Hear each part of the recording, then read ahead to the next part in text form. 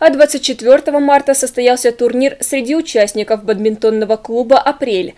Он был посвящен Году единства российской нации. В нем приняло участие 33 спортсмена. Победителями стали Елена Переходкина, Элина Шупта, Александр Аникин, Павел Зырянов, Евгения Козлова, Егор Кудрин, Вадим Капустянский, Алина Санталова и Денис Колесников.